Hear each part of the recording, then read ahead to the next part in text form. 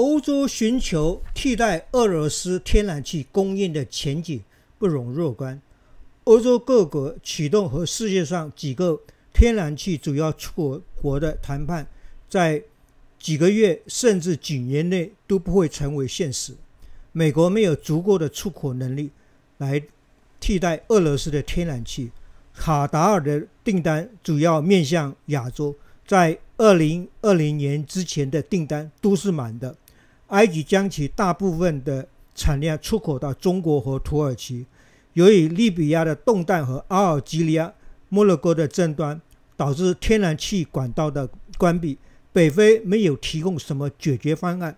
因此，四月二十七日，欧洲的天然气价格比一年前高出六倍。